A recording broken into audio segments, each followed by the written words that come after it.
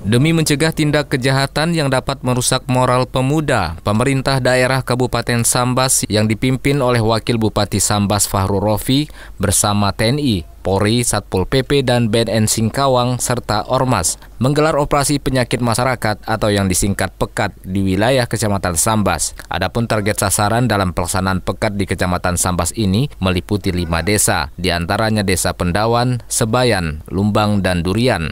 Selain Wakil Bupati Sambas hadir juga mengikuti kegiatan pekat yang digelar pada Rabu malam 28 September 2022 adalah Letkol Infanteri Dadang Armada Sari. Operasi pekat ini adalah dalam rangka menertibkan aktivitas malam yang melibatkan pemuda dan upaya mencegah tindak kejahatan yang tidak dipandang dari segi hukum, melainkan dari segi kemanusiaan dengan memberikan himbauan serta teguran dan efek jera sehingga tidak melakukan hal serupa di lain hari. Sebelum melakukan operasi pekat di lima desa yang menjadi target, kegiatan dimulai dengan apel terlebih dahulu, di mana menjadi inspektur apel Wakil Bupati Sambas Fahru Rofi. Fahru Rofi dalam sambutannya mengatakan bahwa kegiatan pekat yang dilakukan pada kali ini merupakan suatu langkah yang luar biasa, serta merupakan keinginan yang telah lama ingin dilakukan. Lebih lanjut, Rofi menegaskan dilakukannya kegiatan pekat ini merupakan suatu kekhawatiran pemerintah daerah Kabupaten Sambas, di mana tingkat asusila serta kekerasan terhadap anak yang sangat tinggi di Kalimantan Barat yang patut menjadi perhatian semua pihak. Dirinya mengatakan bahwa operasi yang digelar ini adalah dalam rangka membela hak-hak kemanusiaan, terutama generasi muda di Kabupaten Sambas. Operasi pekat yang insya Allah kita laksanakan malam ini dan ini merupakan sebuah langkah yang luar biasa. Dan ini merupakan keinginan yang lama ya sudah lama kita inginkan dilaksanakan. Karena kenapa?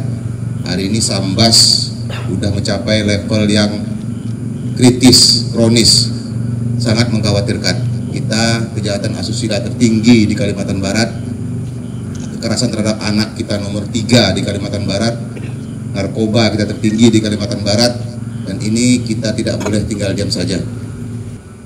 Ini bukan masalah hukum semata, ini bukan masalah aturan semata, tapi ini juga masalah kemanusiaan. Kita yang hadir malam ini ikut terlibat dalam membela hak-hak kemanusiaan Selanjutnya Ngah Rofi, sapaan akrab Wakil Bupati Sambas mengapresiasi kepada semua pihak yang ikut terlibat dalam pekat kali ini dan berharap kegiatan ini akan rutin diadakan minimal tiga bulan sekali di seluruh wilayah Kabupaten Sambas. Dalam operasi tersebut terjaring beberapa pemuda-pemudi dan para pelajar yang masih di bawah umur dan kemudian digiring ke aula kantor Bupati Sambas untuk didata serta diberikan arahan. Selain didata petugas, remaja yang terjaring operasi pekat tersebut mendapat arahan langsung oleh Wakil Bupati Sambas serta memberikan himbauan kepada mereka untuk tidak mengulangi perbuatannya di kemudian hari. Dinas Kominfo Kabupaten Sambas melaporkan.